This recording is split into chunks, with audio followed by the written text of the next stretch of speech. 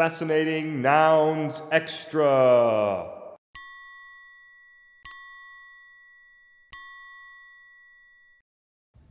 Fletch, so we're here in your amazing museum. Uh, I'm always drawn to these. I think you are too. Got Ronald Reagan here smoking a Chesterfield. Can you get in on this? Is it too small? Can you? Hey, you know, I have a bigger version of that. Do you? I do. Let's let's see it. Well, it's right here. Gosh, I love this piece. this is great. Bigger version to everything here, by the way. So what what is this? Well, this is Ronald Reagan when he was still acting. He was the president of the Screen Actors Guild for a ah. time, practicing to be the real president. Right. And this was a combination ad, so he's advertising Chesterfields. He's saying he's sending Chesterfields to all his friends in the beautiful Christmas card carton. And it, Oh yeah, they, you can put their name on it too. Oh yeah, all right. Yeah.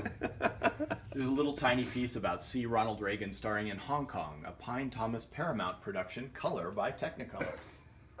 so it was kind of a dual advertising piece. Sure. So this is so he wasn't actually running for president now. Uh, and actually, if you look, I think that cigarette's photoshopped in there, whatever they had for Photoshop back then. But Sure looks like it. Yeah. His teeth too. His teeth, they look same color as cigarettes. But this is pre-presidential. Um, This is pre-Republican. He was a Democrat at that point. Oh, no kidding. Yeah, and president of the Screen Actors Guild. So he he was Hollywood and a Democrat, and he smoked Chesterfields. Wow, kind of blew my mind. I didn't realize that.